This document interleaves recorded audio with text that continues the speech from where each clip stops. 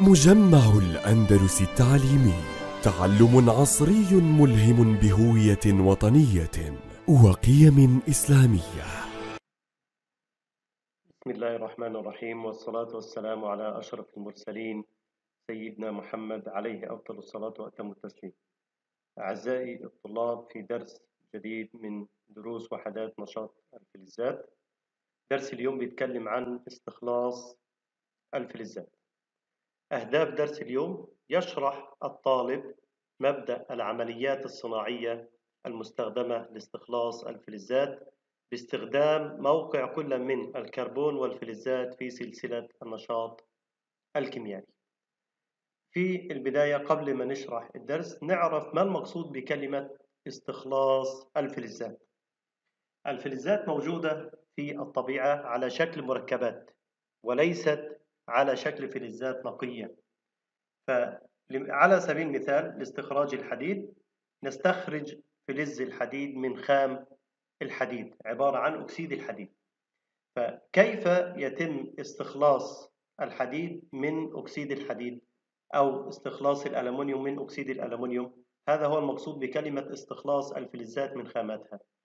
يبقى فكرة الدرس يتم استخلاص الفلزات من خاماتها بطرق مختلفة حسب موقعها في سلسلة النشاط الكيميائي مقارنة بموقع عنصر الكربون.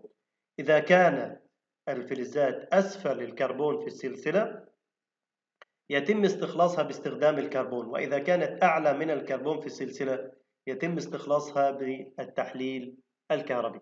يبقى عنصر الكربون هنا في السلسلة. كل العناصر الموجودة أسفل الكربون الحديد الرصاص النحاس يتم استخلاصه باستخدام الكربون. أما العناصر الموجودة في أعلى الكربون فهذه يتم استخلاصها باستخدام التحليل الكهربي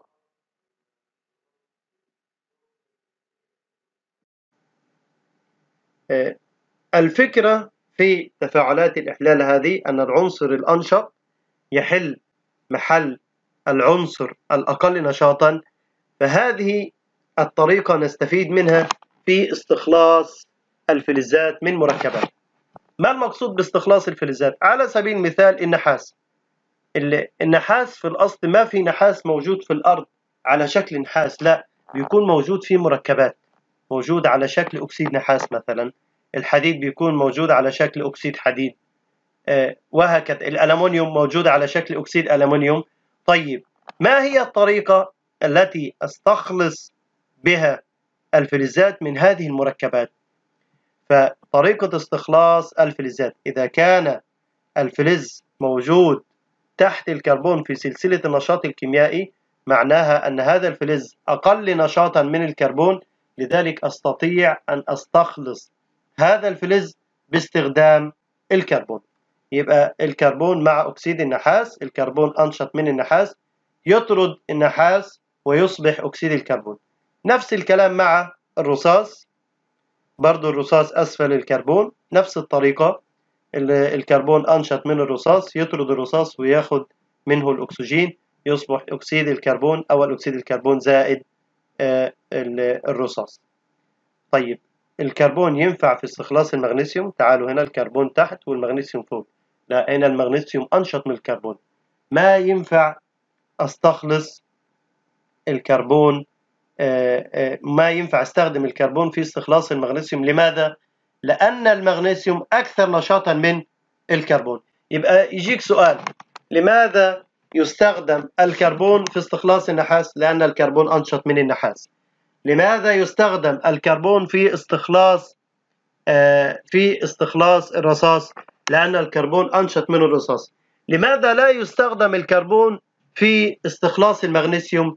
آه لأن الكربون أقل نشاطا من المغنيسيوم. طيب إذا كان آه عنصر من العناصر زي مثلا الزد إن ينفع أستخدمه أستخلص الخرسين باستخدام الكربون ينفع ولكن لأنه قريب جدا فالتفاعل بيكون بطيء جدا. ففي هذه الحالة يفضل أن أستخدم طريقة وهي تسمى طريقة التحليل الكهربي.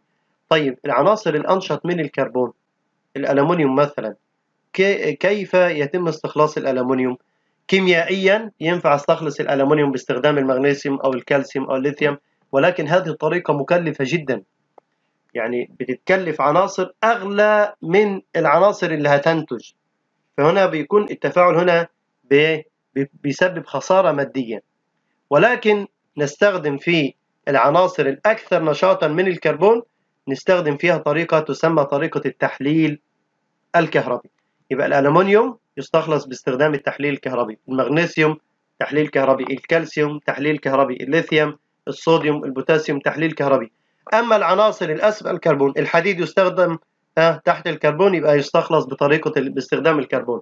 الرصاص باستخدام الكربون. النحاس باستخدام الكربون. الزئبق الفضة باستخدام الكربون. يبقى هذه والعناصر الموجودة في الأسفل هذه آه، عناصر نشاطها قليل جدا جدا. لذلك توجد حرة في الطبيعة. ما تحتاج طريقة للاستخلاص أصلا. ولكن العناصر هذه تستخلص بطريقة الكربون. أما العناصر الموجودة أعلى الكربون تستخلص بطريقة التحليل الكهربي. أيضا آه، فكرة ترتيب الفلزات في سلسلة النشاط الكيميائي نستخدمها في آه، تفاعل يسمى تفاعل الثرميد وهو تفاعل الألمنيوم مع أكسيد الحديد. كما رأينا في السلسلة الماضية الألمنيوم موجود أعلى الحديد في هذه السلسلة. لذلك آه، الألمنيوم أكثر نشاطا من الحديد. فعندما يتفاعل الألمنيوم مع أكسيد الحديد ينتج أكسيد ألمنيوم زائد حديد زائد حرارة. هذه الحرارة تجعل الحديد هذا يكون حديد مصهور ذايب فهذا الحديد المصهور يستخدم في لحام المعادن. هذا التفاعل يسمى تفاعل الثرميد يبقى فيما يستخدم تفاعل الثرميد يستخدم في لحام الحديد. وبذلك نكون قد وصلنا لنهاية هذا الدرس ونتمنى لكم التوفيق والنجاح دائما بإذن الله. والسلام عليكم ورحمة الله وبركاته.